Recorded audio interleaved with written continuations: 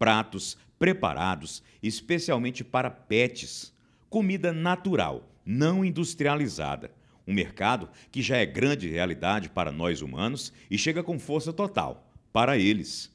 A cozinha dessa pequena fábrica vem funcionando a todo vapor e caindo no gosto desses bichinhos e melhorando a saúde deles. Segundo essa médica veterinária, que é especialista em nutrição animal, os produtos naturais podem evitar muitas doenças e problemas do dia a dia quando substituídos pela comida convencional industrializada. A gente procura que tenha mais saúde para eles e principalmente trabalhar com a prevenção das doenças. Eu acho que esse é o foco maior, não esperar a doença chegar para daí mudar o estilo de vida do seu pet, mas trabalhar prevenindo. A Andresa passou a encomendar toda semana a comida natural, desde que o Jack, um bulldog francês que ela tem teve câncer no fígado e não podia mais comer ração convencional.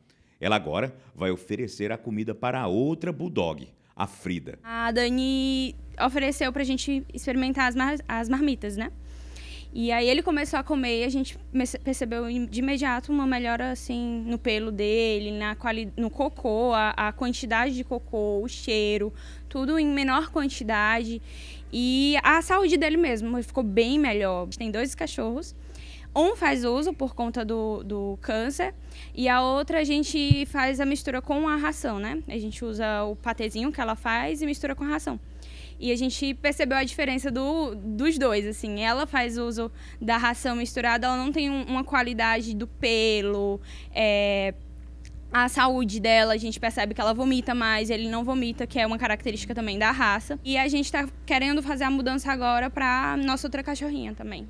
A Daniele começou a produzir essas quentinhas de comida natural para pet há cerca de um ano e produz por semana cerca de 60 delas. São quentinhas congeladas, o cardápio é variado, como por exemplo, moela de frango com arroz, cenoura e batata doce. Outra opção é carne de gado com brócolis e chuchu, e também opções de suíno, peixe ou língua de boi, além dos potinhos com caldo de osso de frango.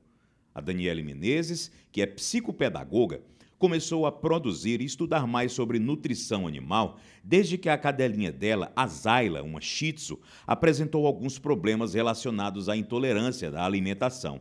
Hoje, o hábito natural levou ao empreendedorismo. Os freezers são cheios, preparados para clientes mais exigentes. Para que eu começasse, eu fiz primeiro um curso de marmitaria PET e à medida que as pessoas começaram a procurar, surgiu a, a ideia de fazer de padaria pet, né? Que é a questão de bolos e pães. E em seguida de confeitaria pet para os aniversários, que hoje muita gente faz o aniversário do seu pet. E eu fui fazendo os cursos e continuo fazendo. Sempre que eu vejo um curso novo, eu já quero me inscrever, porque é importante esse conhecimento.